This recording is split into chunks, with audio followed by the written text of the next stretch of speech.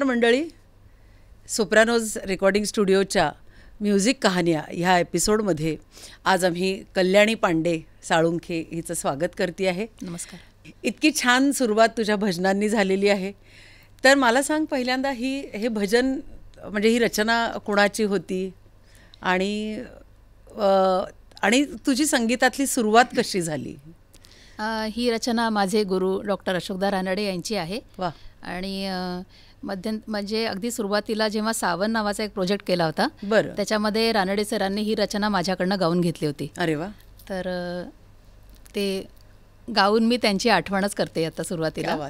आणि खरं तर गुरु हा आपल्या आयुष्यात इतका महत्त्वाचा गोष्ट आहे हो. की त्यांच्याशिवाय आपण कधीच म्हणजे आपण आपण नाहीच आहोत हो त्याच्यात खरं. तर तुझी गाण्याकडे तू कशी वळालीस म्हणजे घरात गाण्याचं वातावरण होतं. कसं होतं? माझ्या घरी होतं गाण्याचं वातावरण. माझी आई खूप सुंदर गायची. म्हणजे तिचा आवाज अतिशय गोड अतिशय सुंदर. पण ती लाइट म्युझिक खूप गायची. म्हणजे जुनी सुधीर फडक्यांची गाणी आशा. भोसलेची गाणी असं तिला खूप आवडायचं. आणि माझ्या वडिलांना गाणं येत नव्हतं पण त्यांना गाण्याची प्रचंड आवड होती. म्हणजे ॲक्च्युली माझ्या आईशी लग्न पण त्यांनी ह्याच कारणासाठी केलं की ती. गाते. अरे वा. आणि मग त्यानंतर त्यांनी तिला गाणं शिकवायला सुरुवात केली. बरं. पण तिला त्यांनी फोर्सफुली क्लासिकल गा क्लासिकल गा असं करून त्यांना कारण भयंकर क्लासिकलचीच आवड होती. अच्छा. आणि ते स्वतः सतार वाजवायचे. बरं. हां पण म्हणजे असं काय मास्टरी नव्हती मिळवली पण त्यांना ह्या सगळ्या गोष्टी खूप आवडायच्या. त्यांना म्युझिकमध्ये रमायला आवडायचं. अच्छा. मग त्यामुळे त्यांचे दोन गुरु मनात त्यांनी मानले होते. हं. पंडित रविशंकर अरे वा. आणि उस्ताद आमिर खान साहेब. बरं. तर त्या दोघांचे ते म्हणजे अतिशय भक्त होते. बरं. तर जेव्हा ते ते एकदा आमिर खान साहेबांच्या मैफिलीला गेले म्हणजे याच्या आधी पण ते नेहमीच त्यांची मैफिल अटेंड करायचा वेळ आले की ते अटेंड करायचे. बरं. आणि आमिर खान साहेबांच्या त्या मैफिलीला ते गेल्यावरती शेवटी त्यांनी त्यांना नमस्कार केला निघताना की असं. तर आमिर खान साहेबांनी त्यांना विचारलं की बेटे हमेशा देखता हूँ गाना वाना गाते हो. अच्छा. तर दादा म्हणाले की नहीं मैं गाना नहीं गाता लेकिन मुझे बहुत अच्छा लगता मैं आपका मैं भक्त हूँ असं. तर ते म्हणाले की "ले- लेकिन बेटा फिर अभी तुम तो गाना नहीं गा पाओगे लेकिन तुम्हारी संतान गाना गाएगी. अच्छा. हां असं आमिर खान साहेबांनी दादांना सांगितलं. तर त्यानंतर त्यांनी आईचं आईवरचं सगळं लक्ष वळवून माझ्यावरती लक्ष पूर्ण केंद्रित केलं. आणि खरं म्हणजे मला बिलकुल गाण्याची आवड नव्हती. म्हणजे मी? गायचे मी हो. गायचे अच्छा. पण घरातच गाणं असल्यामुळे मी गायचे. बरं. म्हणजे आई गायची मग मोठी बहीण गायची भाऊ तबला वाजवायचा दुसरा भाऊ सतारा वाजवायचा असं सगळं वातावरण असं असल्यामुळे मी गायचे. बरं. पण माझी खरी आवड चित्रकलेची होती. अच्छा. हां आणि मला अगदी म्हणजे पूर्ण म्हणजे चार चार पाच पाच तास मी फक्त पेंटिंगच करत राहायचे. आणि त्यामुळे झालं असं की जेव्हा दादांनी मला गाण्यामध्ये ठरवलं की नाही आता हिच्याकडे पूर्ण फोकस करायचा. तर ते मला खूप लोड झाला त्या गोष्टीचा म्हणजे. मला बर्डन झालं की मला ते करायचं नव्हतं अच्छा आणि पण मग त्यांनी म्हणजे अक्षरशः ते गिनीपिग असतात ना तसं सकाळी चार वाजता उठून मग शाळेतनं आल्यावरती म्हणजे इतका त्या सगळ्या प्रॅक्टिसचा त्यांनी म्हणजे फोर्स केला त्यावेळेला खूप. पण असं वाटतं आत्ता विचार करताना की कधी कधी आपले पालक काय म्हणतात ना ते ऐकावं. हो. कारण ते फार वरून बघत असतात आपल्याला. खरंच आहे. आणि आपण आपल्याला माहीत नसतं की आपण कुठे काय करणार आहोत उद्या आयुष्यामध्ये. आपलं ध्येय आपल्याला माहीत नसतं. तर आपण त्यांचं ऐकलं ना तर कधी कधी आपल्याला खूप सुंदर गाईडलाईन मिळत जाते. मिळत जाते. तर माझं ते झालं मला फोर्स झाला पण मला चांगली गाईडलाईन मिळाली त्यांच्यामुळे. आणि पुढे जाऊन मग मी ह्याच्यामध्येच ठरवलं की अकरावी नंतर वगैरे की हेच करायचं आता मला दुसरं काही नाही करायचं अच्छा. पण माझी चित्रकलेची आवड इतकी प्रचंड होती की मी त्यावेळी मध्ये एलिमेंटरी इंटरमिजिएट दोन्ही दिलं. त्यामध्ये मी मेरिट स्टुडंट होते. त्यामुळे मी तेव्हासुद्धा पुन्हा मला असं झालं की मी जे जेला जाऊ का? पण दादा म्हणाले की नाही बेटा आप सीधा एस एन डी टी में जाओ वहाँ पे ग्रॅज्युएशन करो म्युझिक में. क्योंकि अच्छा. वही करो. मग त्यांनी ते इतकं आग्रहाने आपलं ते धरून ठेवलं होतं नेटाने की मी गा गाण्यामध्येच करायचं आहे बरं. मग मी दुसऱ्या कुठल्याही लाईनला वळलेच नाही. हेच करायचं असं ठरवलं आणि तेच करत राहिले. पण मग दोन तीन आता तू जसं म्हणाली बहीण पण गायची भाऊ तबला वाजवत. होता. पण मग त्यांच्याकडे पण ते ते स्किल होतं. पण मग. त्यांच्यापेक्षा ते तुझ्याकडेच असं फोकस का त्यांनी केलं असावं? माझी बहीण छान गायची. आणि ती दिलरुबा पण वाजवायची. अरे वा. हां म्हणजे नागपूरच्या बेबी पेंढारकर म्हणून बरं. फार म्हणजे सुप्रसिद्ध दिलरुबा वादक होत्या. बरं. तर त्यांच्याकडे ती काही वर्ष शिकली पण. अच्छा. आणि त्यानंतर पण ती तिचा पण कल हाच होता. आईला कसं म्हणजे मोहम्मद रफी आशा भोसले ही गाणी आवडायची ना तिला पण तशीच गाणी आवडायची. आणि तिला ते क्लासिकल वगैरे मध्ये तेवढासा. रस नव्हता. आणि व्हायचं काय माहिती आहे की गाणं मुलांना कसं शिकवावं ना. ह्याचं सुद्धा त्या काळामध्ये मला खूप चांगलं ट्रेनिंग एका अर्थी मिळालं की खूप फोर्स नाही करायचा. हां. कारण खूप फोर्स केल्यामुळे काय झालं की तिची क्लासिकलची जी आवड होती ना ती कमी कमी होत गेली. हो. आणि की तिला असं वाटलं की नाही मला नाही करायचं जबरदस्ती. सो तिने ते नाही केलं. मग दुसरा भाऊ तबला वाजवायचा तो मला पूरक. म्हणून. त्याच्यावरती पण फोकस कमी. की हां तू शिकतोयस ना शिक चांगलं कर. दुसरा एक भाऊ सतार वाजवायचा त्याच्यावरती पण दुर्लक्ष झालं कारण तो स्पोर्ट्समध्ये खूप इंटरेस्टेड होता. अच्छा. पण त्यामुळे त्यांचं पूर्ण लक्ष माझ्याकडे आता. ही आहे माझ्या तावडीत सापडलेली. हिच्याकडनं करून म्हणजे तुला पण ते नंतर नंतर आवडू लागलं पण म्हणजे. आवडलं. कारण नंतर तू जेव्हा तुझ्या इंटरेस्टनी त्याच्यामध्ये गेलीस कारण काय होतं अकरावी बारावीत साधारण आपलं आपल्याला थोडंफार चॉईस कळायला लागतं. कळायला लागतो. त्याच्यानंतर मी त्यांनी मला वसंतराव कुलकर्णी यांच्याकडे शिकायला पाठवलं. कारण मुळात दादांचं जे नॉलेज होतं ना ते सतारच्या अंगाने होतं. अच्छा. त्यामुळे त्यांनी माझ्याकडनं गाणं शिकवत असताना खूप साऱ्या पद्धतीचे म्हणजे जे पॅटर्न्स असतात ना ते घोटून घेतले लहानपणी. पण गायकी अंगाची जी तालीम असते ना ती त्यांना अ, संभव म्हणजे वाटलं की आपण इथे नाही देऊ शकत. बरं. म्हणून त्यांनी मी मला त्यांनी वसंतराव कुलकर्णी यांच्याकडे शिकायला पाठवलं. पुण्याला. वसंतराव कुलकर्णी म्हणजे दादरचे. दादरचे हं, अच्छा. म्हणजे आरतीताई अ, हो, देवकीताई हो, हो, यांचे हो. गुरु. मग त्यांच्याकडे माझी अगदी रितसर तालीम चालू झाली. आणि म्हणजे आग्रा ज आग्रा घराण्याची त्यांची गायकी होती. जगन्नाथ बुवा पुरोहितांचे ते हो, हो. आणि खादिम हुसेन खां साहेबांचे शिष्य. शिष्य.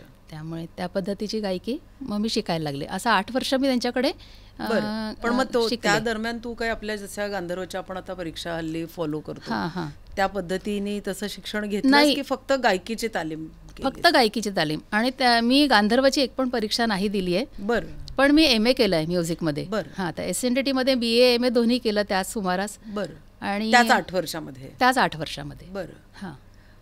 पण मग आठ वर्षानंतर पुढचा प्रवास कसा सुरू झाला ॲक्च्युली तुझा? काय झालं आठ वर्षामध्येच म्हणजे वसंतरावांकडे पण मी शिकले आणि मला रानडे सरांची पण भेट झाली हां आणि म्हणजे ते झालं असं की सरलाताई भिडे आहेत ना हो, आमच्या हो. कॉलेजमध्ये एच ओ डी होत्या. त्या काळात म्हणजे त्या वर्षात मी होते म्हणजे प्रभाताई जस्ट रिटायर्ड झाल्या होत्या आणि. सरलाताई एच ओ डी झाल्या होत्या तर तेव्हा त्यांनी मला म्हटलं की असा असा आपण एक कार्यक्रम करतोय ज्याच्यामध्ये आपल्या फक्त एस एन डी टीच्या मुली आहेत आजी माझी सगळ्या. बरं. तर त्यांना घेऊन हा कार्यक्रम करायचा आहे महिला दिनाच्या निमित्ताने असं. काहीतरी होता तो. तर त्याचं सगळं जे संकल्पना होती ती रानडे सरांची होती. बरं. हां. तर त्याच्या म्हणजे सिलेक्शन राऊंडसाठी त्यांनी मला नंतर माझ्याबरोबर माझ्या दोन मैत्रिणी सुचित्रा भागवत आत्ताची हो. आधीची बर्वे हो. आणि नंदा परचुरे. आम्हाला तिघींना त्यांनी सरांकडे नेलं. अच्छा. आणि तिथे सरांनी आम्हाला तिघींनाही त्यामध्ये म्हणजे निवडलं. बरं. आणि त्यात मी सरांकडे जेव्हा मी त्या कार्यक्रमाची तालीम घेतली ना म्हणजे त्यां- त्यांची कंपोज केलेली गाणी मला आम्हाला त्याच्यात गायची होती. अच्छा. तर मी त्या व्यक्तिमत्वाने इतकी प्रभावित झाले ना. की मला असं वाटलं की मला यांच्याकडे म्हणजे या सान्निध्यात राहायचं आहे अच्छा. तेव्हा गाणं शिकायचं आहे का वगैरे हे काही डोक्यात नव्हतं. हो. तेव्हा मी वसंतरावांकडे शिकतच होते. पण त्यांचं जे ज्ञान होतं आणि त्यांची जे विद्वतेचं जे तेज होतं ना त्या त्याने मी खूप इम्प्रेस झाले. मग मी सरांना म्हटलं सर मला ना पी एच डी करायची आहे. कारण मला हे माहिती होतं की ते भयंकर अभ्यास होत म्हणजे ते पी एच डी वगैरे मला मदत करतील काहीतरी. हो, हो. सर म्हणाले की तू असं कर पी एच डी वगैरेच्या भानगडीत पडू नकोस. हं, तू बरी गातेस. हं, तर म्हणे की तू गाणं शिक माझ्याकडे. हं. तर मग मी वसंतरावांना सांगितलं. तर त्या काळचे गुरूंची ही कमाल मला वाटली हं. की वसंतरावांनी मला म्हटलं की हां बिजूकडे का? म्हणजे रानडे सरांना. बिजू म्हणायचे अच्छा तर बिजूकडे हुशार मुलगा आहे म्हणे तो अच्छा जा त्याच्याकडे काय शिकायला मिळतं ना ते शिक क्या बात तर त्यांनी मला खूप छान त्यांच्याकडे म्हणजे पाठवलं. आणि मग मी रानडे सरांकडे व्यवस्थित शिकायला लागले अच्छा म्हणजे अशी सुरुवात अशी. हा, रानडे किती. वर्ष साधारण शि- शिकलीस अं, त्यांच्या रानडे सरांकडे ते हयात असेपर्यंत म्हणजे. ती वीस वर्ष त्यांच्याकडे शिकले. कल्याणी आता जसं तू म्हणालीस की सरांच्याकडे रानडे सरांकडे अशी तुझी एंट्री झाली. आणि वीस वर्ष तू सलग शिकली आहेस हो. म्हणजे खूप खूप मोठा काळ आहे हा तर मला असं तुला असं विचारायचं की रानडे सरांची कारण माझ आम्ही औरंगाबादची असल्यामुळे रानडे सरांचं फक्त आम्ही नाव ऐकलेलं होतं किंवा असा खूप सहवास त्यांचा त्या ठिकाणी आम्हाला नाही मिळू शकला हो. म्हणून मला तुझ्याकडून हे समजून घ्यायला आवडेल की त्यांची शिकवण्याची पद्धत कशी होती हां. एक तर ते खूप वक्तशीर होते. हां. आणि त्यांनी प्रत्येकाला आपले आपले टाईम स्लॉट दिलेले असायचे. बरं. की म्हणजे आणि ते त्या त्या व्यक्तीच्या पोटेन्शियलप्रमाणे. कारण त्यांनी गाणं शिकवण्यासाठी कधीही एक रुपया पण नाही घेतला कोणा. कोणाचकडनं.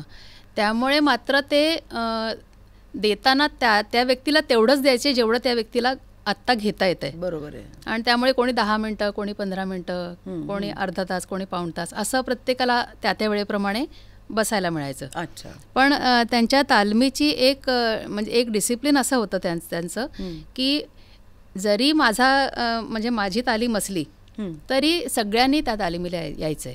अच्छा. त्यामुळे त्यांचे वार होते. की समजा बुधवार शनिवार रविवार असे वार होते ते पर्टिक्युलर वार वारांना ते सकाळी आठ वाजता बसायचे बरोबर. मग तेव्हा सगळ्यांनी यायचं. बरं.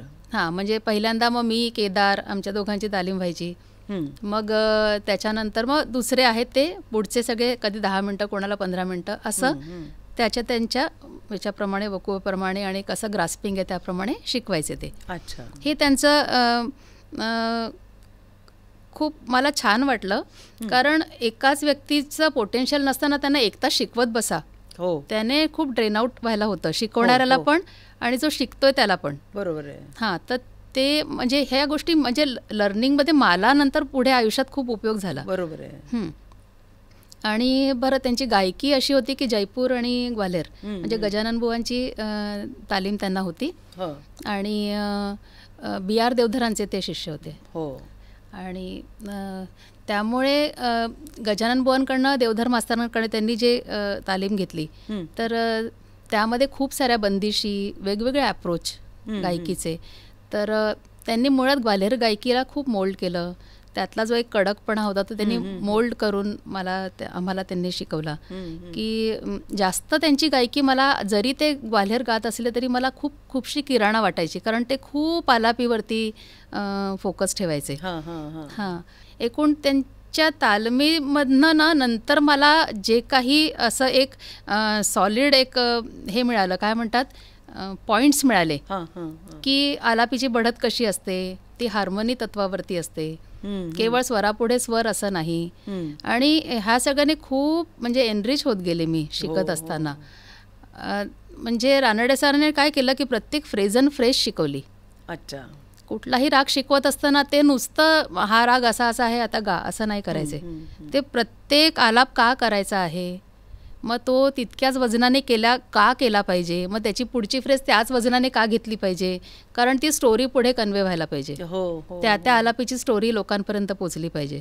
असं सगळं त्यांचं खूप डिटेलिंग असायचं आणि ते खूप आग्रही होते त्या बाबतीमध्ये की असंच गा तर तुला माझी थॉट प्रोसेस कळेल. अच्छा.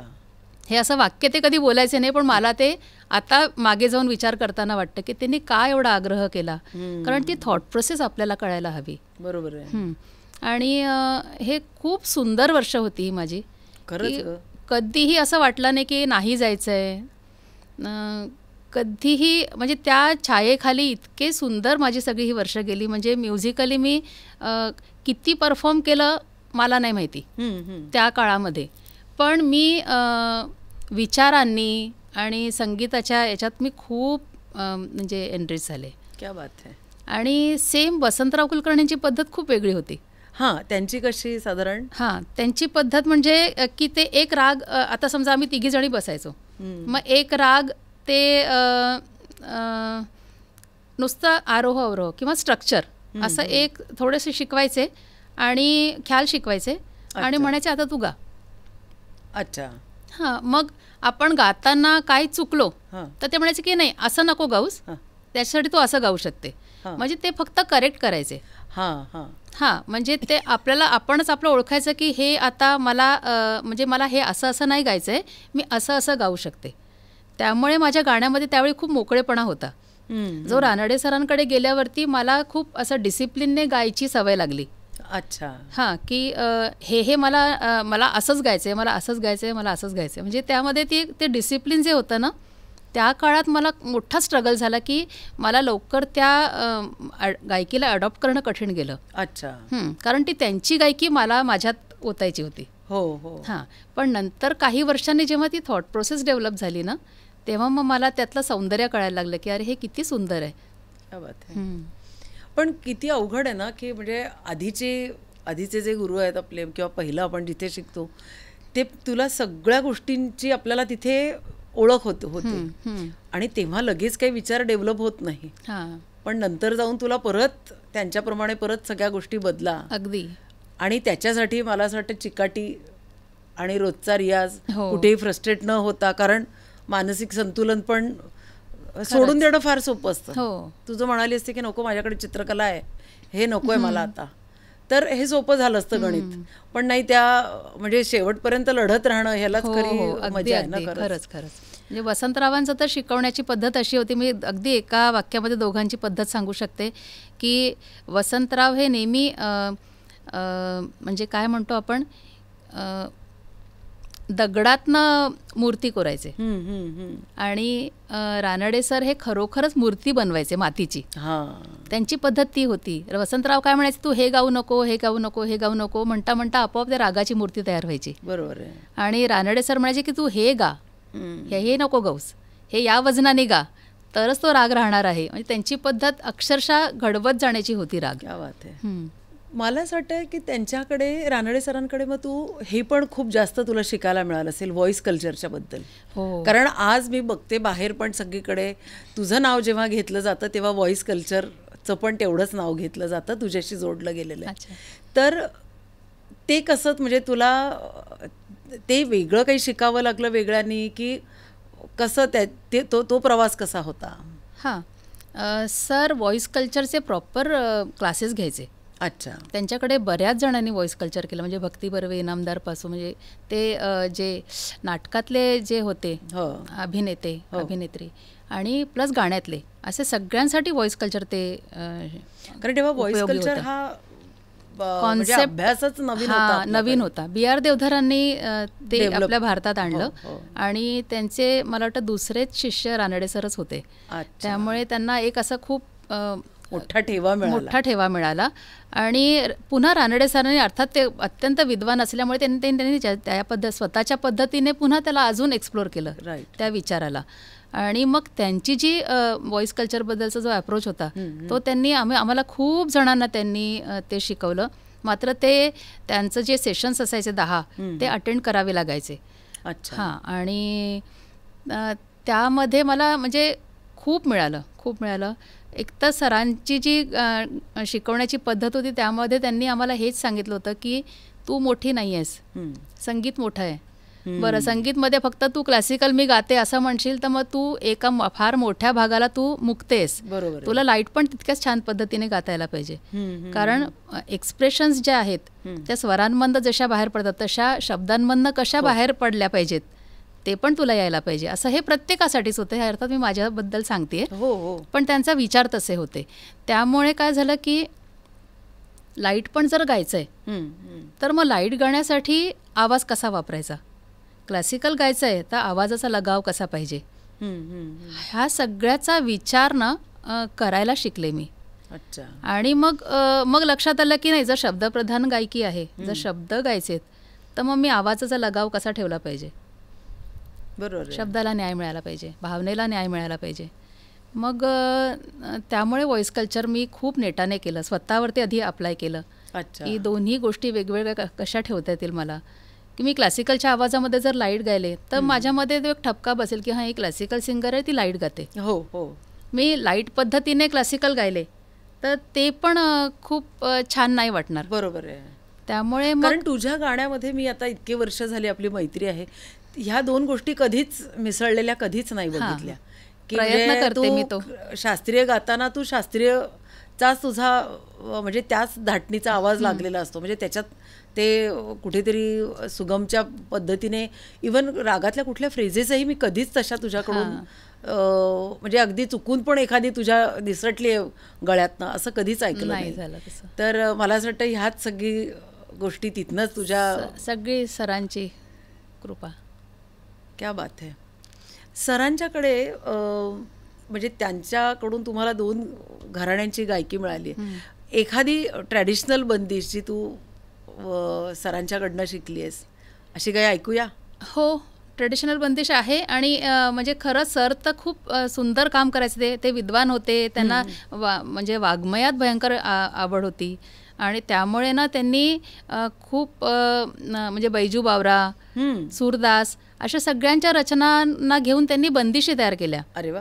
तर त्या बंदिशी पण फार सुंदर आहेत त्यांच्या ज्या आहेत त्या. एखादी ऐकव ना त्यातली ऐकवते हां? एखादी तू एवढी तावडीत सापडली तर काहीतरी तर ऐकायलाच हवं. मी एक पुरिया कल्याणमधली एक बंदिश ऐकवते. तर ही बंदिश आहे सूरदासांची. आणि अ, ह्याचा मी तुला अगदी थोडासा फक्त अर्थ सांगते कारण खूपच गोड अर्थ आहे. तर ह्यामध्ये कृष्णाचं अनादी अनंत असं सगळं जे भव्य दिव्य वर्णन ते तर आहेच. पण असा जो कृष्ण आहे त्याला अहिर की छोहरिया म्हणजे एक साधीशी जी आपण काय म्हणतो गोपी गोपिका ती त्याला एक वाटीभर ताकासाठी किती नाचवते. असं अतिशय गोड त्याच्यात वर्णन आहे. तर ते मी ऐकवते.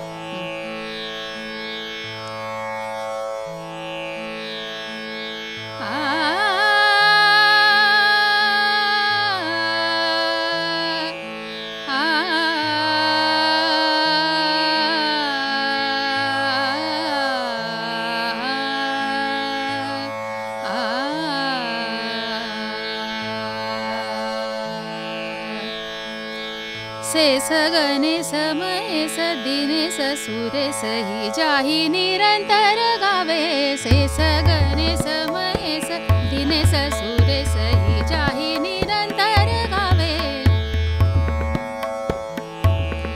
से सगने समय सदिने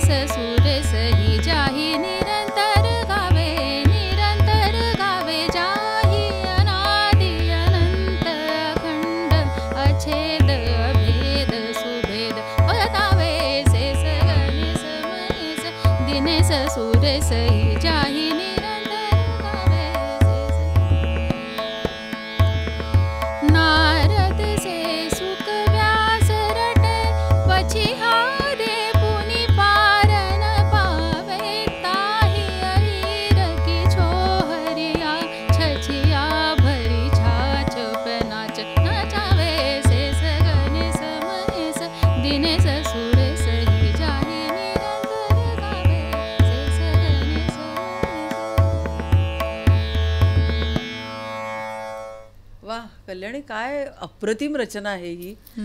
आणि जसं आता आता नवीन म्हणतायत लोक रॅप आहे आणि ह्या सगळ्या गोष्टी याला नवीन सगळ्या गोष्टी आल्या आहेत. नावं आली आहेत त्याला. हो. पण हे काय सुंदर आहे. अतिशय. आणि सगळे अंतरे बघ तू त्याच्यातले शब्द असे गोलाईने असे मस्तच आले आहेत अगदी.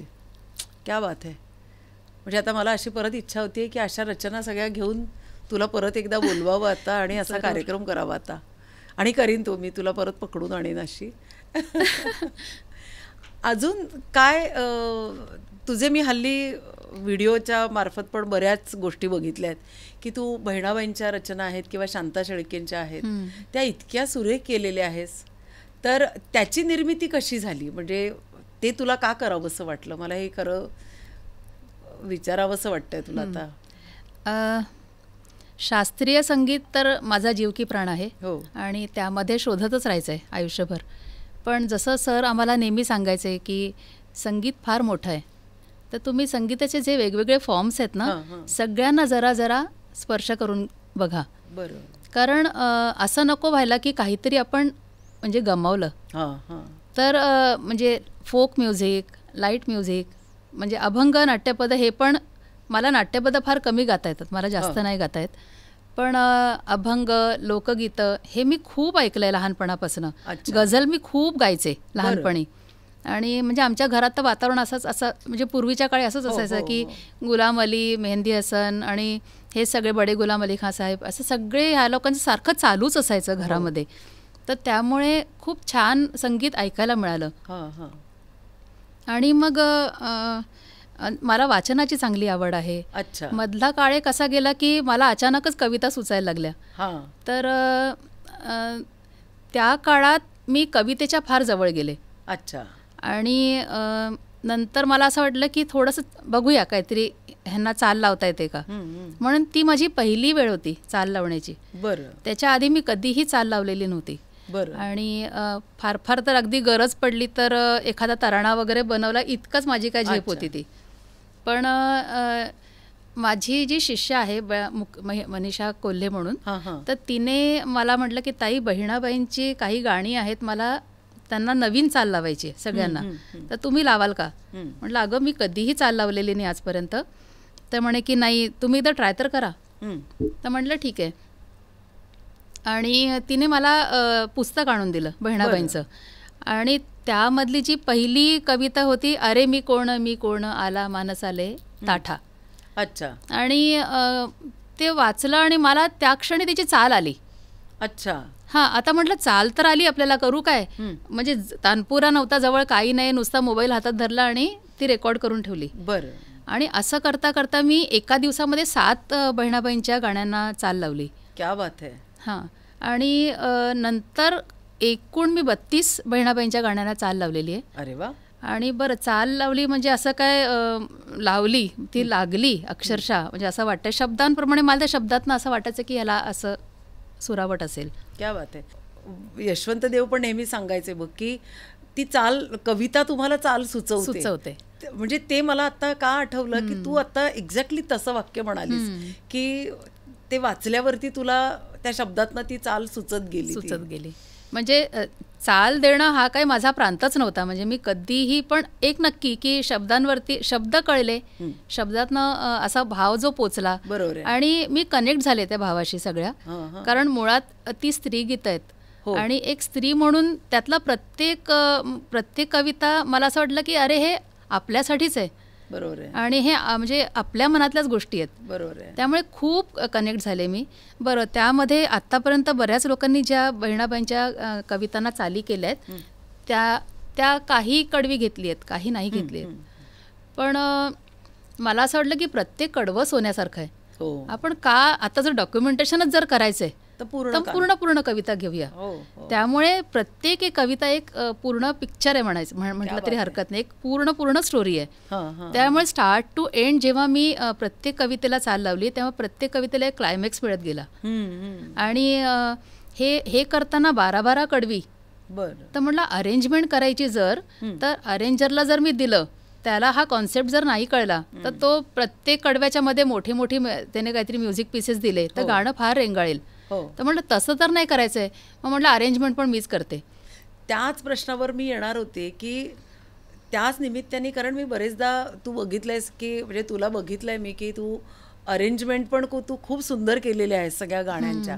म्हणजे त्याची सुरुवात अशी झाली. नाही अरेंजमेंट मी त्याच्या आधीपासून करत होते. बरं. अरेंजमेंट हा मला असं वाटतं की माझ्या रक्तात होता पहिल्यापासनं पण तो कधी बाहेरच आला नव्हता. अच्छा. हां आणि मला काही खूप हार्मोनीची गणितं तेव्हा अशी काय म्हणजे कॉर्ड्स बीड्स पेटी वाजवणं वगैरे असं सगळं मला काही येत नाही. पण माझ्या मनात एखादं गाणं ऐकलं ना की त्याच्या बॅकग्राऊंडला काय सुरावट असायला पाहिजे ते उमटतं. हो. ते कदाचित इतक्या वर्ष संगीतामध्ये आहे म्हणून आणि रानडे सरांची जी तालीम होती त्यामध्ये त्यांनी जसं आलापी शिकवताना नेहमी हार्म हार्मोनीज कशा एकमेकांशी कॉम्प्लिमेंट करतात हां हां. तो विचार नेहमी त्यांनी शिकवला. की रिषभाचा आलाप करताना खालचा पंचम खालचा दैवत यांच्याशी नेहमी बोलावं असं ते म्हणायचे. कुठल्याही स्वराशी हे करत असताना. तर त्यामुळे ते विचार खूप तिकडे सुटलेले होते व्यवस्थित सोडवून झालेले होते. तर त्याचा उपयोग मला इथे करता आला. अरेंजमेंटच्या वेळी. मग मी काय केलं की प्रत्येक कडव्याच्या मध्ये किती पाहिजे मला फ्रेज फक्त कनेक्ट करायला. तेवढे मी पीसेस जोडत गेले. अच्छा. आणि अशा रीतीने सगळी गाणी अरेंज करून झाली. मग अर्थात बहिणाबाईची गाणी असल्यामुळे ती एकच आवाज असला पाहिजे. म्हणून सगळी गाणी मग मीच म्हटली. असं ते पूर्ण प्रोजेक्ट फक्त मी आणि मी आणि असं झालेलं. जास्त छान का झालंय माहितीये का कल्याणी की त्यातला सगळा विचार म्हणजे ती रचना होण्याच्या मागचा विचार ती रचना झाल्यावरचा विचार ह्या सगळ्या गोष्टी गाण्यातनं जेव्हा समोर येतात. ते जास्त गाणं भिडतं हो, आणि. एका एकाच अँगलनी तो ते पूर्ण प्रवास होत. गेलेला आहे ना त्यामुळे तो जास्त म्हणजे असा परिपूर्ण वाटतो असं मला पण वाटलं तर हे सगळे प्रोजेक्ट ज्यांना कोणाला ऐकायचं मी एकदा फक्त प्लीज चॅनलचं नाव सांगून टाकते. नक्की नक्की हे. चॅनल मनीषा कोल्हे हिचं आहे. निम्प्रा चॅनल आहे. बर. आणि त्यामध्ये ही सगळी बत्तीस गाणी तुम्हाला ऐकायला मिळतील. अरे वा. तू पाहिजे तर आम्हाला चॅनलची लिंक पाठव. हा, आम्ही आमच्या डिस्क्रिप्शनमध्ये ही खास या व्हिडिओच्या नंतर लावू ती. लक्षात ठेवू आपण की ही आपण लिंक टाकूया त्याच्यामध्ये. कारण काय माहितीये का शेवटी तुझा आर्टिस्ट म्हणून तो एवढा मोठा एक ठेवा आहे आणि तो सगळ्या लोकांपर्यंत पोचायलाच हवा. आणि त्याचसाठी म्युझिक कहाण्याचा हा गाठ घातलेला आहे आम्ही. की तू करत असलेली मेहनत तुझा प्रवास तुझा संगीताकडे बघण्याचा नजर ती आपल्याला रसिकांपर्यंत पोहोचवायची आहे. कारण कल्याणी ही फक्त गायिका तर आहेच पण ती आयोजक पण एवढी सुंदर आहे. म्हणजे म्युझिक एवढं छान करू शकते चाली एवढ्या उत्तम देऊ शकते. जास्त नको. नको? नाही नाही पण मी बोलणार. तर ह्या सगळ्या गोष्टी खरंच लोकांपर्यंत जायला हव्यात. म्हणून आम्ही खास लिंक इथे आपण तू दे. आम्हाला आपण. नक्की देऊया त्याच्यामध्ये. आणि शांताबाईंच्या बद्दल पण थांब थांब. मला काय म्हणायचंय? एखादी काहीतरी थोडंसं? येस हा त्यांचं अगदी फेमस गाणं घरोट. घरोट म्हणजे जातं. अच्छा हा तर पूर्वीच्या काळी ह्या सगळ्या बहिणाबाईंच्या ओव्याच आहेत एका अर्थाने हं, हं. आणि त्या घरोटावर बसूनच त्यांना सुचायच्या बऱ्याचदा हो, हो. आणि बहिणाबाई तर जाता येता तिला असं म्हणजे एखादा प्रसंग एखादी स्टोरी ऐकली. की त्याची ती संध्याकाळपर्यंत तिच्या तोंडी त्याची कविता त्याचं गाणं काहीतरी बनलेलं असायचं अच्छा तर हे घरोटं जे आहे. ते कसं आहे की सकाळ रात्री दोन वाजता लहान मुलींना उठवायचे अच्छा आता तू म्हणजे दळण दळायचंय आंघोळ बिंघोळ करून आता तू जात्यावर हम्म. तर त्यावेळी मग केलेली गाणी ही. अच्छा. आणि मग म्हणजे म्हणून मी काय केलं आता म्हणजे सुरुवातीला तर मी नॉर्मल काहीतरी चाल लावल्यानंतर माझ्या लक्षात आलं की हे काहीतरी सारंगवरती गाणं आधारित झालंय. पण म्हणजे आत्तापर्यंत आणि गंमत म्हणजे मी इतकं क्लासिकल शिकलेली आहे. त्याचा म्हणजे अभ्यास केलेला आहे. पण गाण्याची चाल देताना मला कधीही कुठलाही राग डोक्यात नाही आला.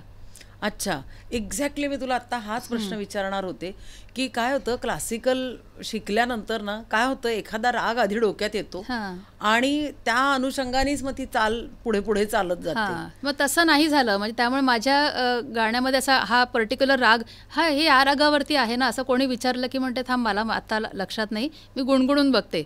मग म्हणायची हां हां आहे खरं या रागावरती आहे. तर असं माझं झालेलं आहे. अच्छा. तर घरोटं मी सुरुवात केली सुरुवात केली तेव्हा घरोटं हे जे गाणं आहे ना ते नॉर्मल सारंग रागावरती आधारित झालं होतं. आणि नंतर मनीषाने अचानक एक अजून चार ओळी आणल्या म्हणे की ताई ह्या पण ओळी त्याच्यामध्ये आपण जोडूया. आता म्हटलं ते मध्येच कुठे जोडणार?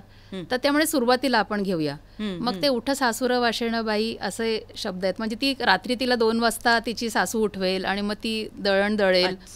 असं. म्हणून मग मी ते करताना माझ्या लक्षात आलं की हे बैरागीमध्ये छान फिट होत आहे आणि मग ते बैरागीवरनं सारंग असं ते मला ब्रिज बांधता आला. ते त्यावेळेचं मला असं वाटतं की त्यावेळी तो त्या काळामध्ये जेव्हा मी होते ना तेव्हा ते आपोआप ते घडत गेलं माझ्याकडनं असं मला वाटतं. मी काही केलेलं नाही आहे ते घडत गेलं कारण मी कदाचित माझ्याकडनं हे काम व्हायचं होतं असं म्हणे म्हणेन मी. तर आपण हे ऐकूया नक्की? नक्की नक्की. उठ सासूर वाशिन बाई।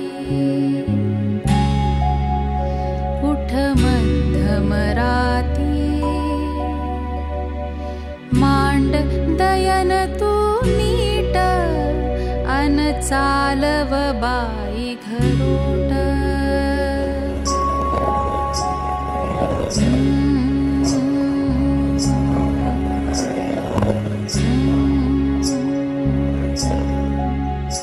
देवा घरोट घरोट. तुझ्या मनातली गोट देवा घरोट घरोट. तुझ्या मनातली गोट सर्व्या दुनियेच पोट घरी कर्माचा मरोट. अरे घरोट घरोट वाणी ब्राह्मणांचं जात. कसा घर घर वाजे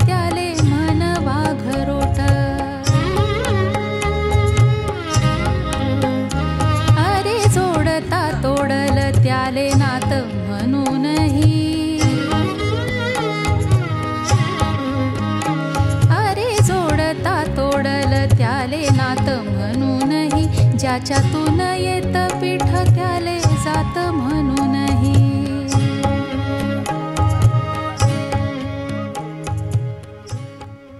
काय सुंदर रचना होती ग म्हणजे आणि खरंच असं त्या जात्याचा आवाज पण त्याच्यात तू खूप हो, सुंदर हो, हो. दिलायस की खरंच असं जात्यावरती दळ दळताना सुद्धा असं माणूस पुढे जातो परत. गोल जो येतो तो फील. परफेक्ट आलाय बघ ह्याच्यामध्ये. रेकॉर्डिंगमध्ये ते मुद्दा म्हणजे जमिनीवरती बाटली घासली आणि हे सगळे एक्सपिरियन्स खूप मजा येते रेकॉर्डिंगच्या वेळी. हा त्याची काही. मजा सांगशील का? हा म्हणजे आता हा आवाज काढायचा होता.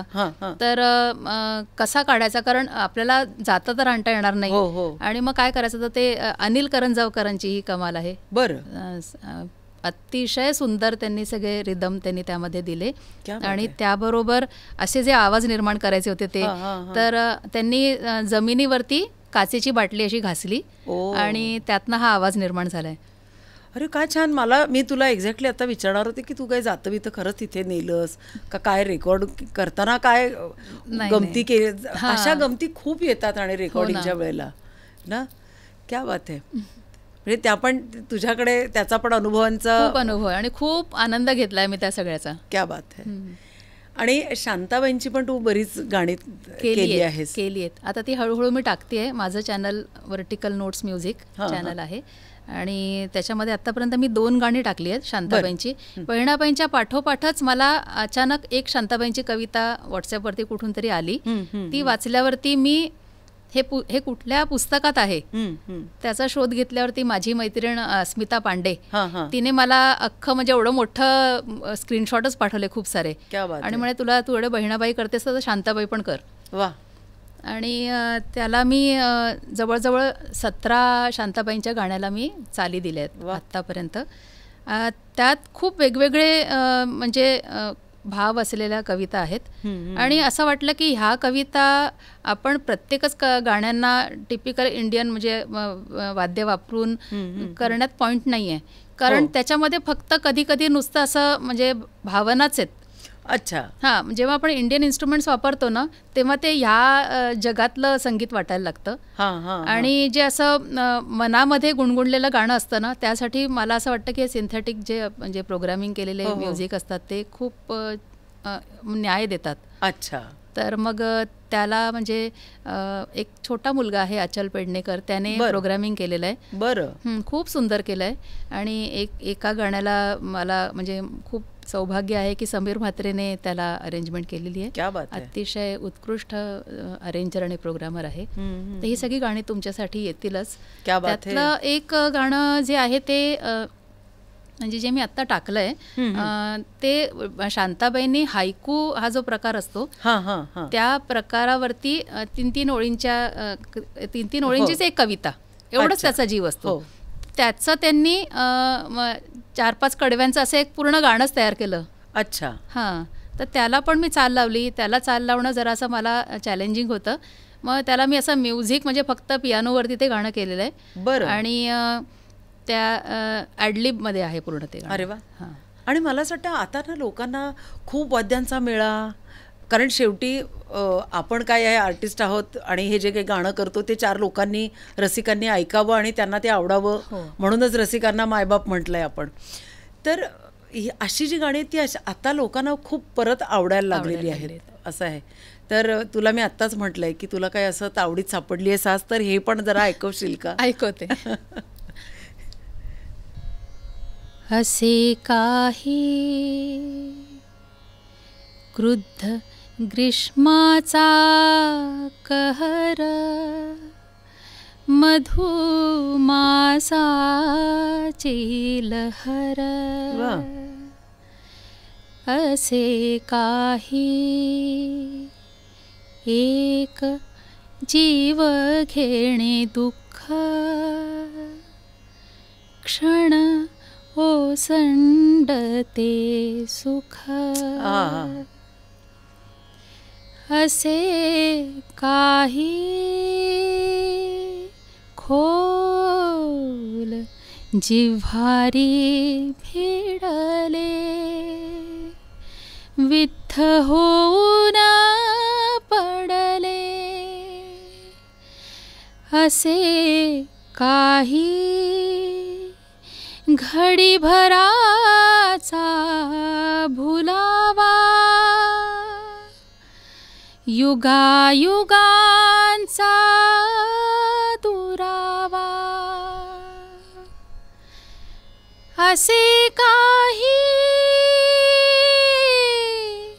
नाही हाती धरवत. असे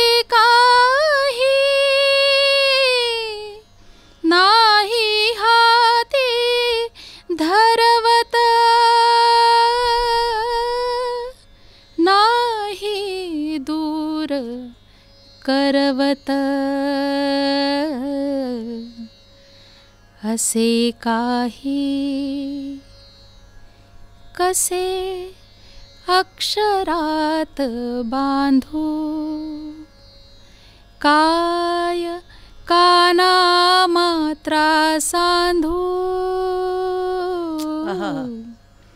असे काही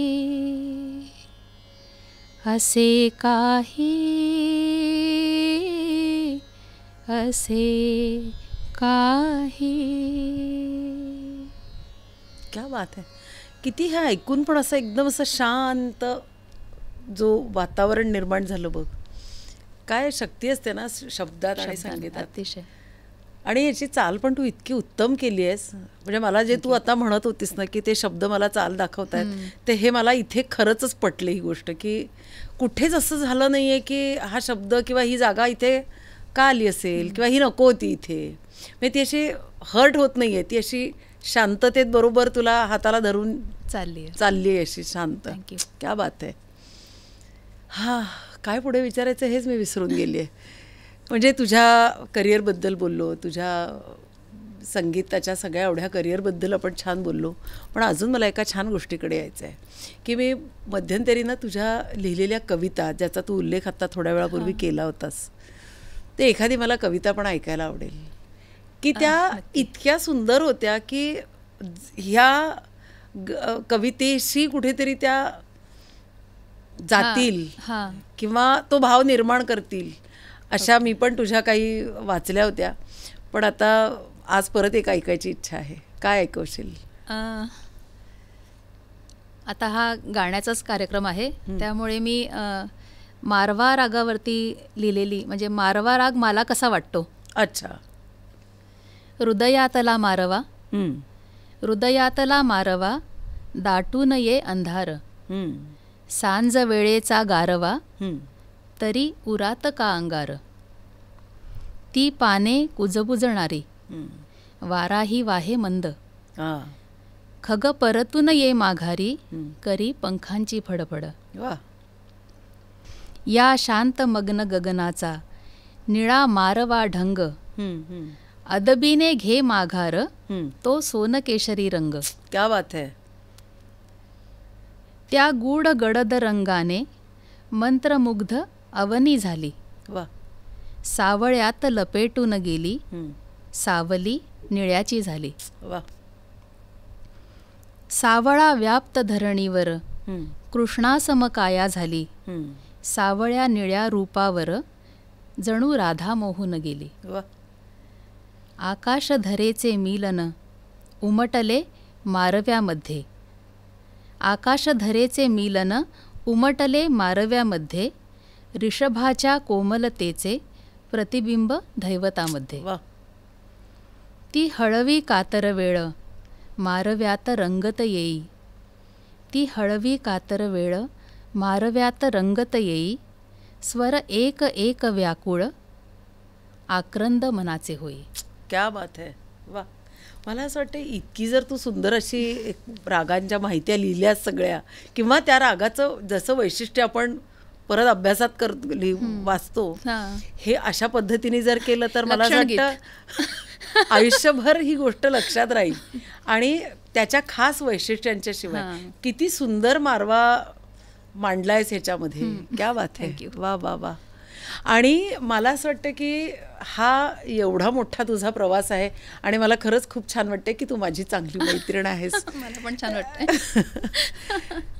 तेव्हा रसिक हो आत्ता आपण कल्याणीशी एवढ्या छान गप्पा झाल्या आहेत की जे मी नेहमी सांगते की म्युझिक कहानिया हा मी ह्याचं नाव हां. ठेवलं आहे ह्या आमच्या या पॉडकास्टचं की काय आहे की तुला आर्टिस्ट बनवण्यामध्ये ज्या काही कहाणी आहेत त्या प्रत्येकाच्या वेगवेगळ्या हो. आहेत पण आणि प्रत्येकाच्या छान आहेत तर त्याच्यामुळे मला असं वाटतं की ह्या सगळ्या गोष्टी साधून आणण्याच्या मागचा आमचा हेतू हा आहे की भारतीय अभिजात संगीत जे आहे आपलं हे पुढच्या लोकांपर्यंत पुढच्या पिढीपर्यंत म्हणा किंवा कितीतरी गोष्टी अशा होत्या की ज्या मला कल्याणी माझी मैत्रीण आहे मला एवढंच फक्त माहिती होतं. पण तुझ्यातली कितीतरी कंगोरे आहेत एवढे सुंदर जसे चित्रकला मला नव्हतं माहिती. अच्छा. तर ह्या कितीतरी गोष्टी आज मला कळल्या. म्हणजे तुझ्यातला खरा कलाकार मला समजून घेता आला आणि तसाच रसिकांना पण तो समजून घेता आला. तर हा एक आमचा उद्देश आहे की आपलं अभिजात संगीत जे आहे किंवा आपल्या ज्या कला आहेत ह्या त्यांचा प्रवास अखंड असाच पुढे चालू राहावा. त्याच्यासाठी आमचा हा छोटासा खारीचा वाटा आहे. खूपच सुंदर कार्यक्रम आहे. आम्ही तुझे सगळे एपिसोड बघितलेले आहेत. हो ना. आणि खूप मजा येते. म्हणजे सगळ्यांचे अनुभव ऐकताना इतकी मजा येते की आपण त्याच्यात गुंगून जातो एक एक तास. हो. आणि म्हणून मला आधी सुरू करताना असं वाटायचं की का आपण हे करायचं? असं स्वतःला आपण जेव्हा प्रश्न विचारतो तेव्हा मी म्हटलं नाही काला मला खूप उत्तरं मिळाली की अरे आपण हे असं असं करू शकतो. आणि सगळ्यात महत्त्वाचा दुवा असा होता की आपण आपल्या कले जी कला आपण घेतली आहे ती परत कुणाला तरी आपल्याला द्यायची आहे. किंवा तुझा हा मार्ग आज एका जरी माणसाने त्या म्हणजे एखाद्या जरी विद्यार्थ्यांनी म्हणा किंवा त्याच्यातनं प्रेरणा घेतली. तर आपला हा सगळा उद्देश सफल झाला. तर त्या निमित्ताने म्युझिक कहानिया हे आम्ही एक अशा उद उद्देशाने हे नाव ठेवलं आहे आणि आज आपण कल्याणीचा सगळा प्रवास ऐकला तिच्या मागच्या सगळ्या कहाणी समजून घेतली तेव्हा खूप थँक्यू वगैरे असं काही म्हणणार नाही पण इतकं छान वाटलं आहे कल्याणी की तू आलीस आपण इतक्या छान मस्त गप्पा केल्या. आणि आभार वगैरे मानणार नाही पण अशीच असंच प्रेम कायम राहू राहू देत. आणि परत एखाद्या मैफिलीला पण आपण भेटूया. जरूर. है ना? तर परत भेटू आपण अशाच थँक्यू. निमित्ताने. इथे मला बोलवल्याबद्दल खूप खूप धन्यवाद. आणि परत एकदा भेटूया एका अशाच गुणी कलाकारांच्या बरोबर आपण परत भेटूया. तेव्हा नमस्कार.